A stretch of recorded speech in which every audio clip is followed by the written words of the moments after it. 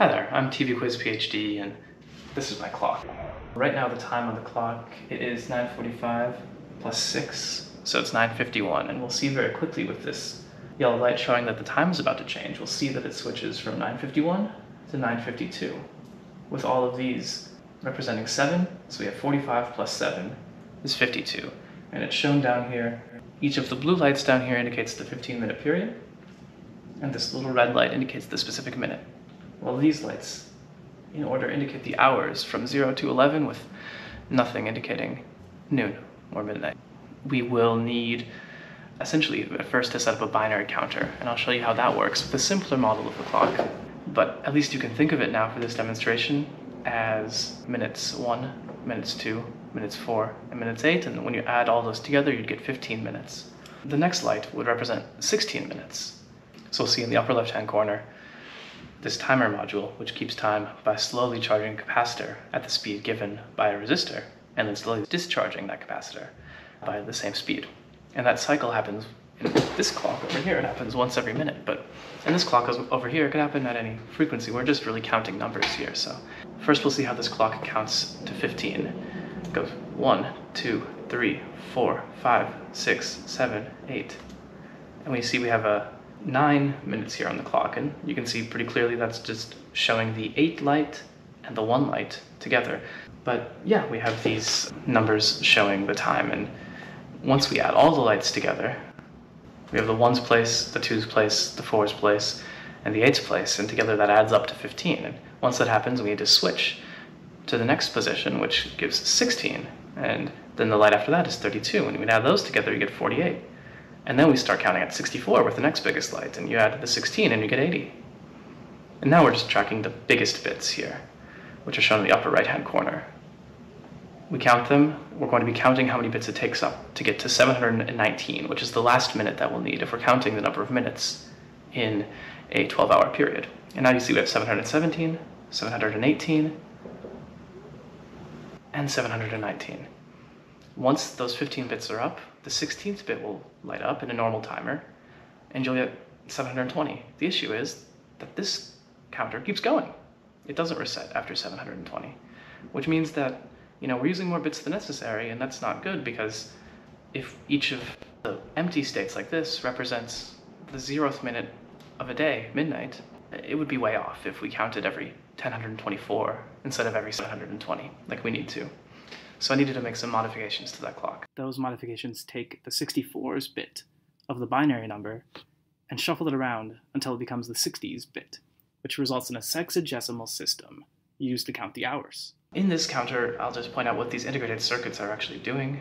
Again, on the left, you have the timer unit, which just keeps the time, lighting that blue light up every so often at a fixed interval. And then underneath the LEDs, you have the integrated circuits that keep the state clock or keep the counter or keep the time in 4-bit shift registers. And you have three 4 bits so you have 12 bits which is enough. So we actually use 11 of the 12 bits in the full clock.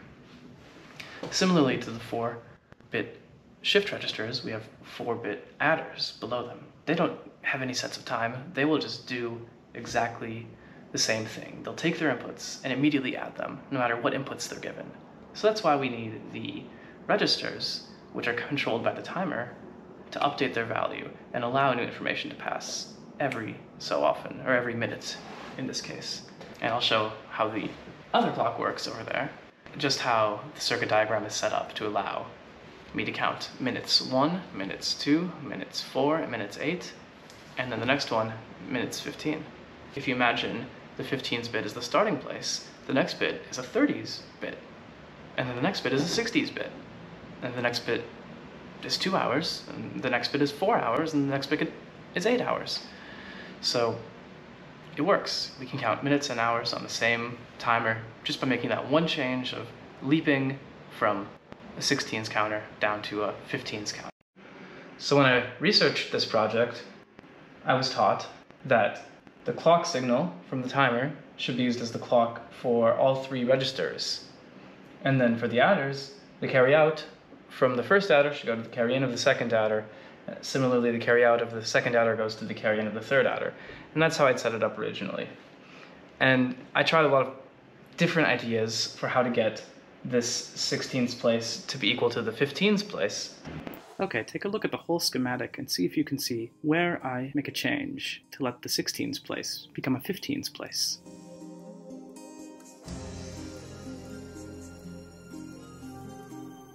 We'll zoom in at the 4-bit adder, the first one. And we'll look at the carry out signal.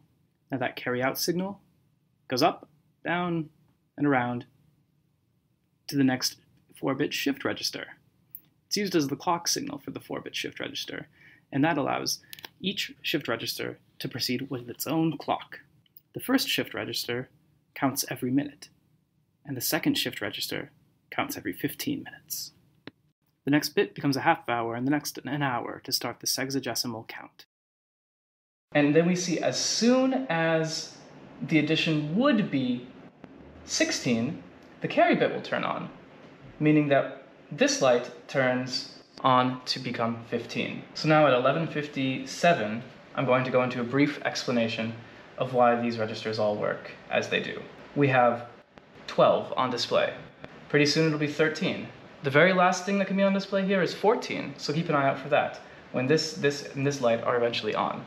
We haven't allowed 15, because as soon as 15 comes into the adder, the carry bit is going to go off, which drives the next adder and refreshes this register. So keep in mind that we're about to see this now transition from 13 here to 14, and that's the very highest value that can be displayed on this clock, 11.59 a.m. This adder turns at every clock signal.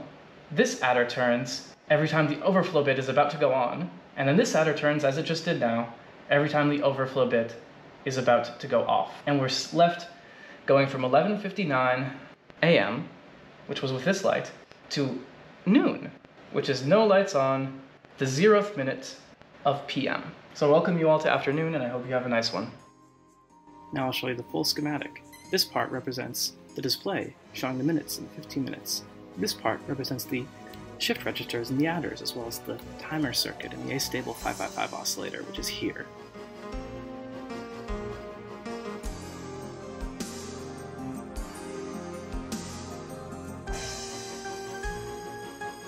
Alright, well, look at my other videos on 555 oscillators, and uh, thank you very much for watching.